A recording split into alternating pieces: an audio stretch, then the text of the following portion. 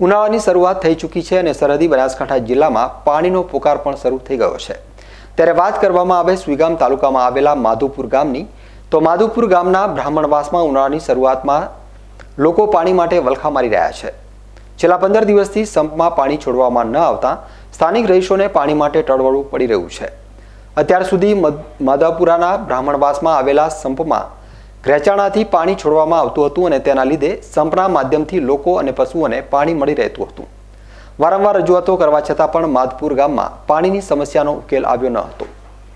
જેના લીધે બસો પચાસથી વધુની વસ્તી ધરાવતા આ ગામના લોકોને પશુપાલન માટે પણ મુશ્કેલીઓનો સામનો કરવો પડી રહ્યો છે.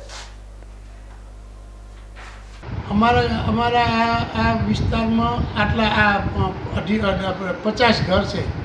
પચાસ ઘરની અંદર ઓછામાં ઓછા અઢીસોથી ત્રણસો માણસ રહે છે એની અંદર પંદર દિવસથી પાણી નથી આવતું. અને ઢોર અને માણસોને પારાવાર મુશ્કેલી પડે છે.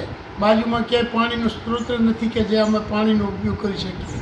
આ બાબતે તમે કોઈને રજૂઆત કરી ખરી? આ બાબતે પટેલ સાહેબને વારંવાર રજૂઆત કરતા પટેલ સાહેબને એમ કેવું છે કે તમે સો માણસો છો તો એ જે થતું છે ત્યાં થશે. તો એમણે ત્રણ ચાર વખત રજૂઆત કરી છતાં એમનો કોઈ જવાબ વ્યવસ્થિત મળતો નથી. પોતાનો શું હોદ્દો છે?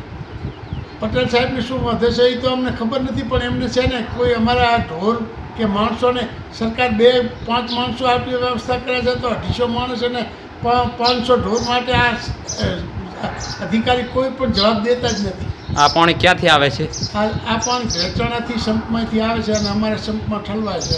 અને અને તમારી શું માગણી છે આ બાબતે? અમારે તાત્કાલિક પાણી અમને મળે એટલી જ માગણી છે. ઢોર અને માણસો છે ને તરફડી ગયા છે અત્યારે. શંકરભાઈ ચૌધરીએ મને હે ને એ બબે રોપા આપ્યા છે, પણ નહીં રોપા માટે એ એ ઈ રોપાય હુકાઈ ગયા છે, નકર એમને તો સારા, ખૂબ સારા વિસ્તાર વિચારથી આપ્યા હતા રોપા.